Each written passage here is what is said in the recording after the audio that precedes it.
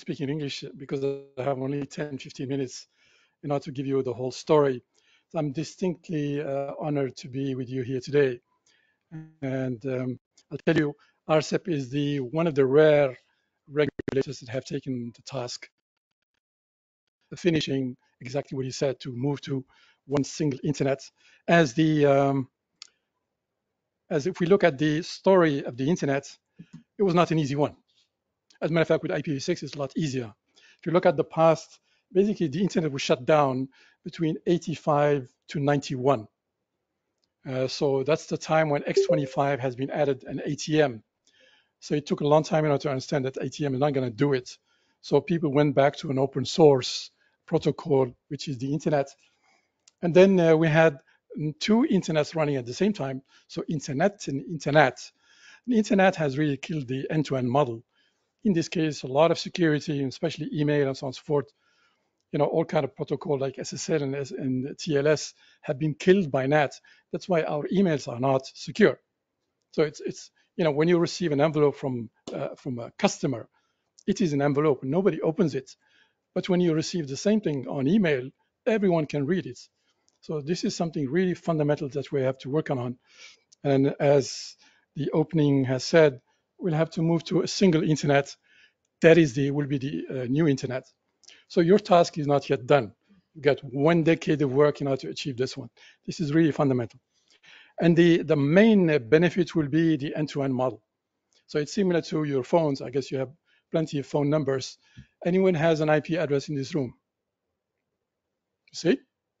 You are not in the internet. You're just basically a tourist on the internet. So it's like in the phone system, you have your own phone number. It empowers you because you can make transactions, you can call, do business, and so on and so forth. You don't do that directly on the internet. You have to go through a third party, and that's not really empowering. So the innovation is to come from this end-to-end model for all kind of applications. And uh, we started this work, you know, a long time ago. And I have to say that France was really a pioneer in promoting IPv6, especially pushing pushing 6bone.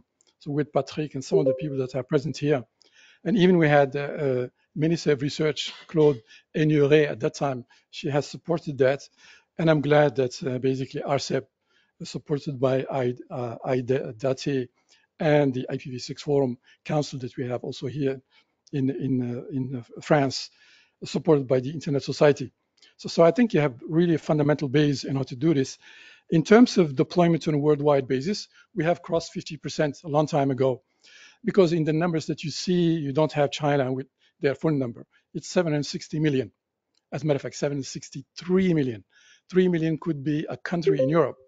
And we did not put that number in there uh, because the number is not checked by Google. So you can't see the numbers of IPv6 users in China. Okay, the numbers are the correct ones are this one.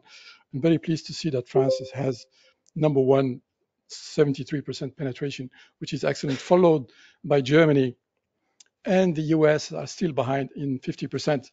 Obviously, the US has plenty of address space. So even the US government has 1 billion IPv4 addresses. And 1 billion IPv4 addresses are in, in the Spamhaus, which we cannot use. So if you buy any IP address from anyone, be for sure it's a hacked IP address. A lot of people have been using it for a long time. So don't touch all these addresses. And a lot of people are buying addresses as well. And people talk about $60 for an IP address. That is wrong because you don't get one IP address, you get a block. And the smallest block is slash 24, where you have 256 IP addresses that you have to buy now to get one IP address. So 60 times 256, that's $15,000 for a block. Anyone ready to buy an IPv6, an IPv4 address for $15,000? No, not even the ISPs. So that's why the move to IPv6 is really fundamental. So, so look, when I asked you, do you have an IP address? No, because you have a NAT address, you are in the luggage class, all right? Only, only the servers have an IPv4 address. Otherwise, they will not be able to communicate. So anyone is on IPv6 already on business class and people don't know it because that's the beauty of IPv6, it just works. So you don't need to bother about this one. And obviously when when we move to IPv6 only, then we'll have first class internet and many innovations are going to happen. And some of the stats have shown that the impact of IPv6 uh, from the Roland Berger uh, uh, consultancy, it will be in the area of $10 trillion value by the end of this decade. So you are really working on something which is fundamental. 10 trillion, that's 10% of the world uh, GNP, uh, GPE uh, on this planet. So, so it's a massive impact uh, down the road. So quickly on the web generations, you can, so a lot of people talk of Web 3. This is a pseudo uh, protocol. It doesn't have any standard. And the same thing with Web 2.0.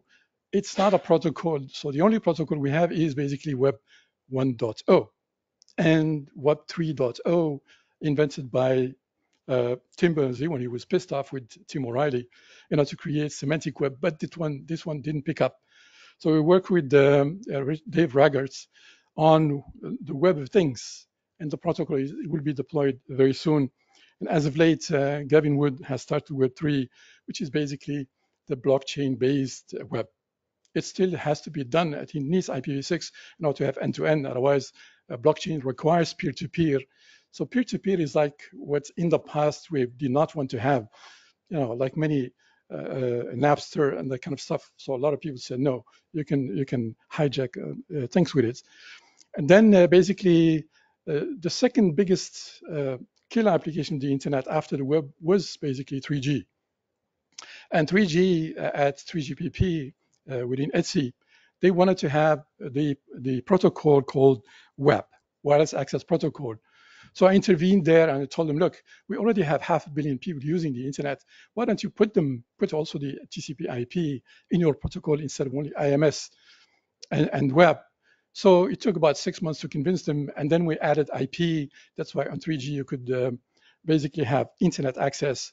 But 4G with the iPhone, basically iPhone has killed uh, 3G that's why we have basically uh, all kind of internet applications on 4G and as of late, uh, 5G. Uh, and then we'll be moving to 6G. There's a lot of hype in this area.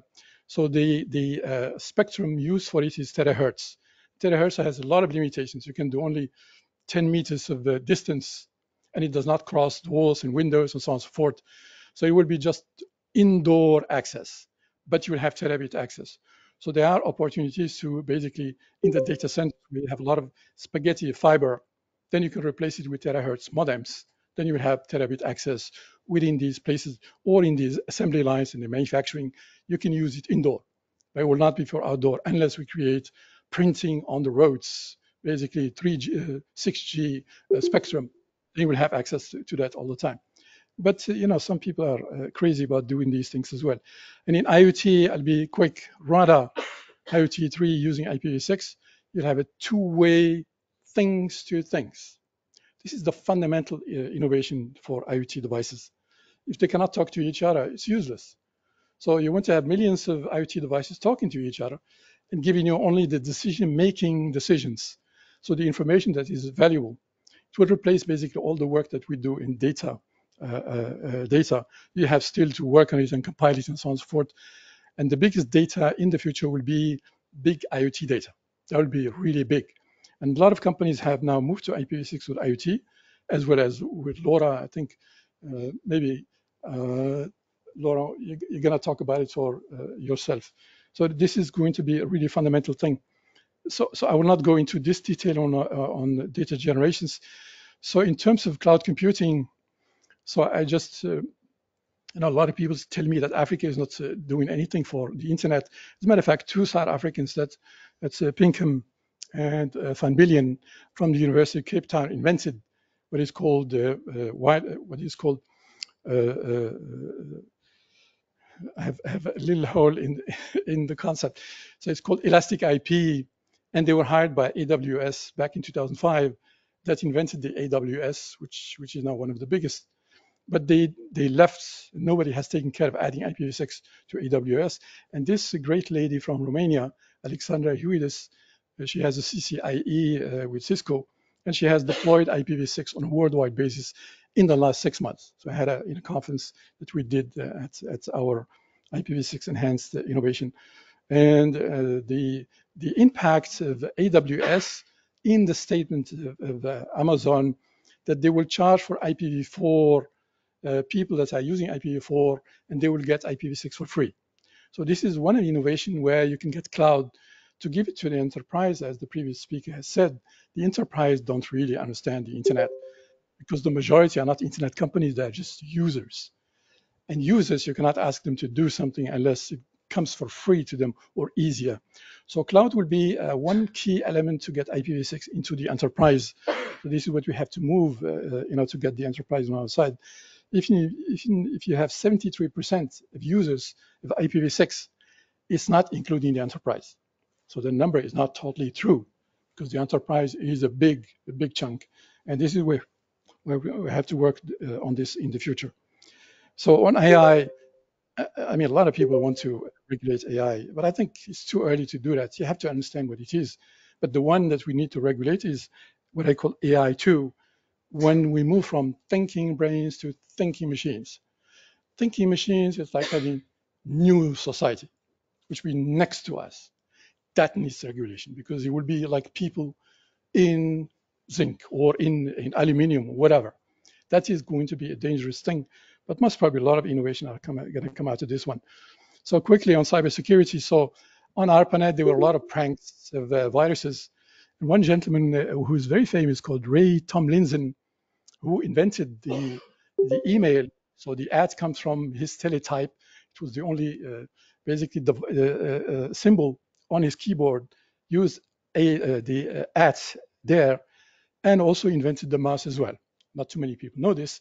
And he was the first guy to invent the first antivirus against the creeper that was uh, uh, launched as a prank on ARPANET. And later on, the first crime espionage done by a German guy, uh, Markus uh, Hess, and later on, we've got all of these Morris worm type of uh, virals that went worldwide, and as of late, ransomware, but also uh, also nation-state attacks, which is uh, you know highly political.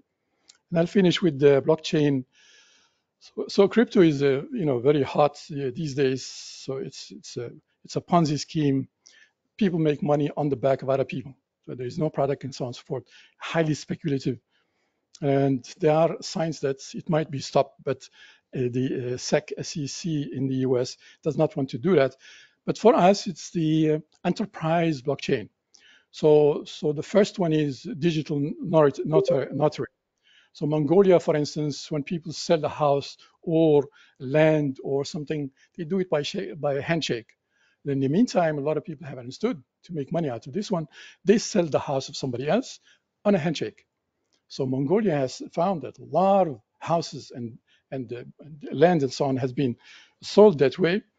And it's the first country that has introduced blockchain through a Canadian company, and it's number one blockchain country in the world with digital notary.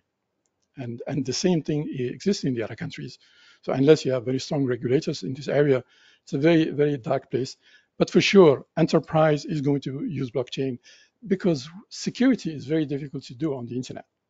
So blockchain, one tool to get transparency in the food and all kind of applications and, and, and in the enterprise. And with this, join this gentleman to do IPv6. Thank you. Thank you.